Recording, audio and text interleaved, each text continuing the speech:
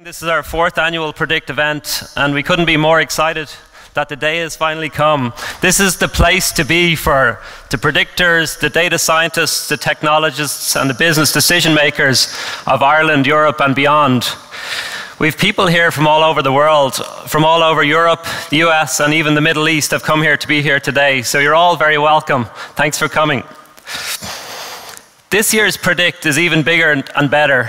Um, we have the usual parallel streams throughout the day. We have talks during lunchtime in the experience zone, and we go all the way through the evening with a drinks reception with the Camembert Quartet. So please do make sure you stay for that. That's going to be a great treat. We started Predict in 2015 uh, for a few reasons. We really wanted to push the boundaries of a technology, predictive analytics, and business decision making conference. Uh, we wanted to uh, create an event which went beyond a traditional conference where people can come, learn, connect, and be inspired with the possibilities of, of, data science and technology. And to do that, our focus is on great speakers, great content, great, and great experiences um, that span technology, data science, design, and business decision making. So there's going to be a whole breadth of coverage of all of that. We'll see great technologies, great, um, great products and services in the experience zone throughout the day, and you'll see great speakers and panel discussions throughout the day. Predictive analytics, uh, in 2005 or 2015, predictive analytics was really starting to come into its own. It was starting to become, move beyond the kind of the big corporates and become more mainstream, mainstream where all companies could really access the power of data using cloud computing and technology what was once the, the, kind of reserve of large, large, corporates was truly becoming democratized. So we wanted to kind of move with that and create an event where people could really understand the possibilities and be educated and inspired as what, what could happen um, the conversations became more nuanced, where the scare stories about robots taking our jobs became more nuanced into um, augmented intelligence rather than artificial intelligence. But in, in, in, summary, like the key goals were to develop and support the data science community here in Ireland, to try to help demystify data science for the business community, and to help position Ireland as leaders in this emerging and important field of predictive analytics. And I suppose for selfish reasons, this was the conference we always wanted to go to, and it didn't exist, so we, therefore we created it. So I'd like to say a few uh, quick words before we get on with the business stream, the business of data science. Um, firstly, thanks to all our partners and supporters for your engagement and contribution to this event. Obviously, without this community engagement, this event wouldn't be possible. And you can see the incredible breadth and power of the, the brands and the names up here.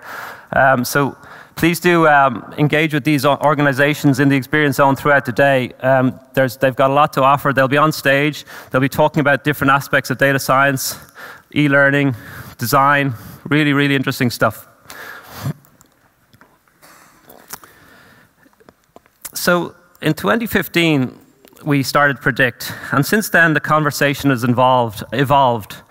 We started out talking about the, um, the disruptive power of predictive analytics, about the third industrial revolution. IBM demoed their Watson robot, and they talked about augmenting, not replacing human, human intelligence. John Elder explained how number crunching on industrial scale has become possible because of modern uh, software libraries and, and computing power. We talked about data protection and having a trust strategy to be aligned with your data strategy. And we explore, explored the new frontier of unstructured data.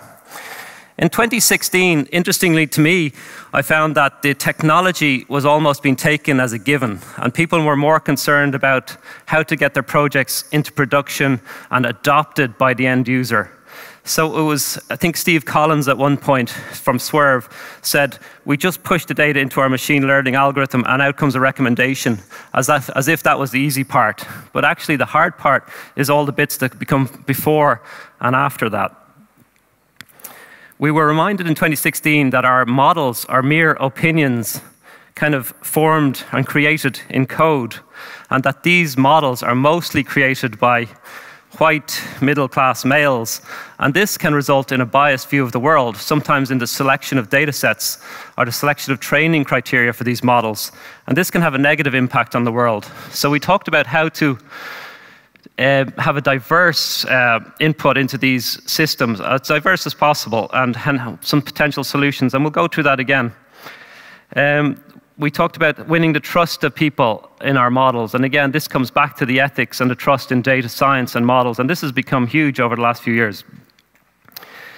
In 2017, um, John Elder gave a keynote speech and he talked about computers pointing out the flaws in, in us human beings. He talked about how we are soft thinkers and how our brains make huge mistakes and can be biased in many ways. We talked about AI um, and we talked about the singularity.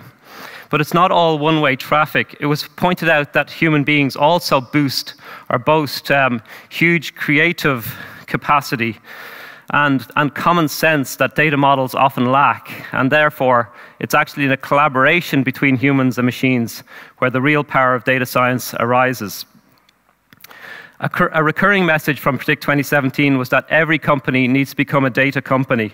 And we saw it firsthand from BMW in their shift from being an engineering company to being an e mobility and data company.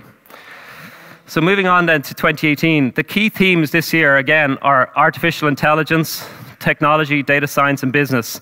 We're taking the usual approach of talking right through the value chain from data, data structuring, data gathering, model creation, model validation, all the way to better decision making and understanding that value chain all the way through.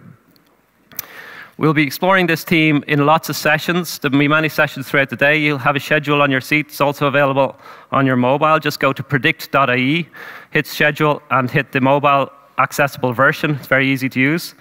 Um, so we'll be talking about AI in action, IoT, sport, health, Lots of very interesting topics happening here and on the other stage. I will be finishing back here at 5 p.m. with a panel discussion on kind of lessons from the day and some key takeaways from the day. So, just briefly to talk about how today will work.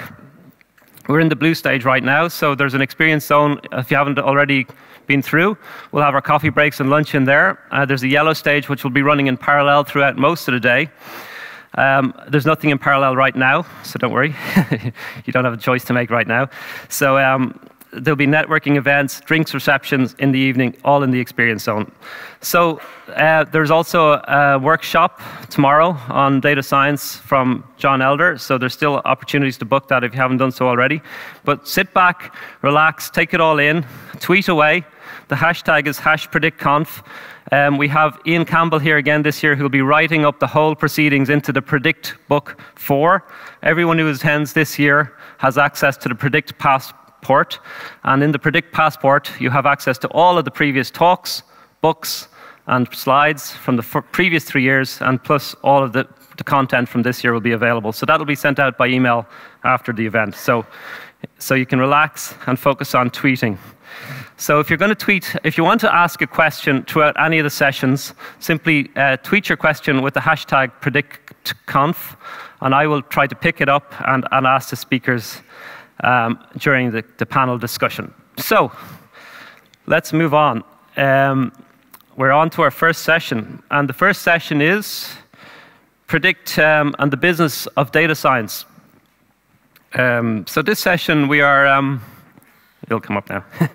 this session, we're looking at real-world application of data science to business decision making. We're not going to shy away from the technical details, but the, um, the emphasis is going to be on demystifying data science for business decision makers and how to set up teams to collaborate, create the models, and put the business decision making uh, to practice using, using data science.